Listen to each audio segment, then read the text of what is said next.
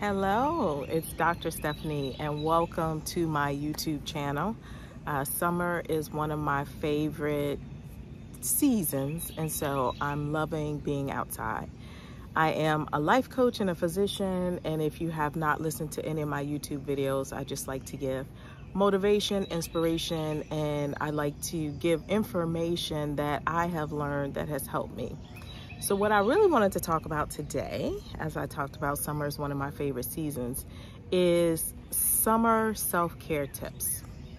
So I think summertime is a time when a lot of us um, start to delve into our self-care. We plan those vacations, we take time off from work, we get outside, we do fun stuff. We start to, you know, think more about our personal grooming and get our mani-pedi scheduled. And so I think it's a great time for us to focus on self-care. And when I say focus on self-care I mean radical self-care.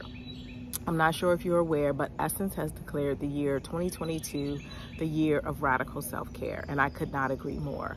I feel that as women and as um, those of us who are women of color there is so much going on that our self-care needs to be radical because my definition of self-care is if you think about yourself as a vessel or as a cup, all of the things that we do, we pour out, that's our doing. And the self-care part of it is our being, and that's how we refill our cup. So we do so much at our jobs, in our families, in our communities, in our organizations. Uh, we're constantly pouring out. And so self-care needs to be pouring into us and filling that cup and balancing some of that doing with just being. And what better time to just be than in the summertime? The other thing that I believe about self-care is that it is uh, synonymous with soul care. So it's not just about the, the vacations and the pools and the manis and pedis, which is all phenomenal, but it's also about something that's a little bit deeper, kind of going into that soul care. So I have four tips that I'm going to share with you over this next four videos. And the first one is that if there is anything that you are not doing to pour back into yourself, because self-care is not selfish, self-care is self-preservation, then there's probably a reason why you're not doing it if it's not exercising, if it's not eating healthy, if it's not getting the proper amount of sleep, if it's not resting, there is a reason that you are not doing that thing that you need to keep yourself full. And as a core energy coach, I believe that there are four core energy blocks that block us from doing things when we know that we should be doing them and we kind of want to do them, they're on our goal list, but we're not doing them. It's because of four energy blocks, internal energy blocks. There can also be external blocks, but we're gonna focus on the internal ones. So the one I'm gonna talk about today is self-love. Self-care starts with self-love. And sometimes the reason that we're not completely filling our cup and pouring back into ourselves is because our self-love is just not where it needs to be. There's some sort of a block there.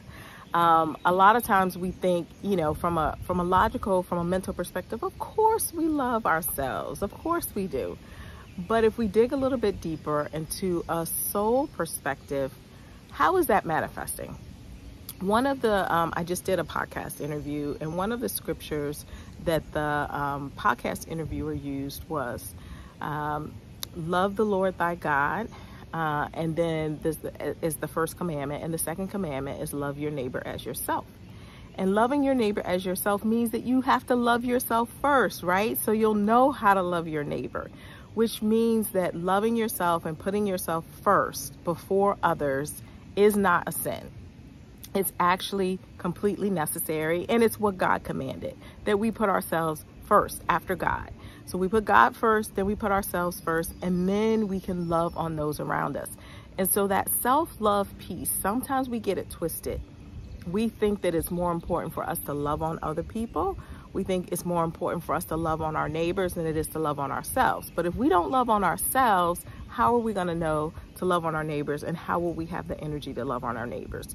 So that self-love piece, really taking a look to see do I truly believe that I deserve to be loved first and best? right?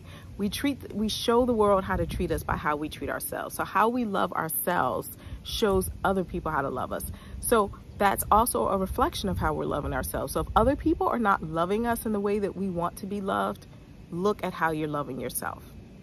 Are you really making yourself a priority? Are you really taking that time and investing in yourself, whether that's monetarily, time, energy, whatever resources are you investing in you? And are there some things that you don't love about yourself? Because let's be honest, we're human.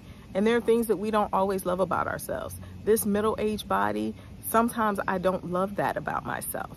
And I have to really get real with myself and realize, okay, this middle-aged body may not be exactly what I want it to be, but A, I have the power to make the changes that I want to make, and B, I love it because it is getting me around and it is allowing me to do the things that I'm supposed to do. It's the vehicle for which I live out this life on earth and I'm able to fulfill my purpose. And I am so grateful and thankful. And I love this body because of that. You know, I love it with all of its imperfections. And yet I work on it at the same time. So two things can be true at once, right? You can be perfectly in love with who you are now, yet be striving to be your future self and who you're meant to become. Both of those things can be possible at the same time. So self-love is the first self-care tip that I have, right? So think about how you're gonna show yourself some love. Kind of take inventory. Where's your self-love meter? Have you been loving yourself the way that you would want other people to love you? Um, if not, why not? And uh, take a take a self-assessment and then what are some ways that you can change that so that you can get to that level of radical self-care? All right, so that's my summer self-care tip uh, and re regarding self-love. Take care for now. See you next time.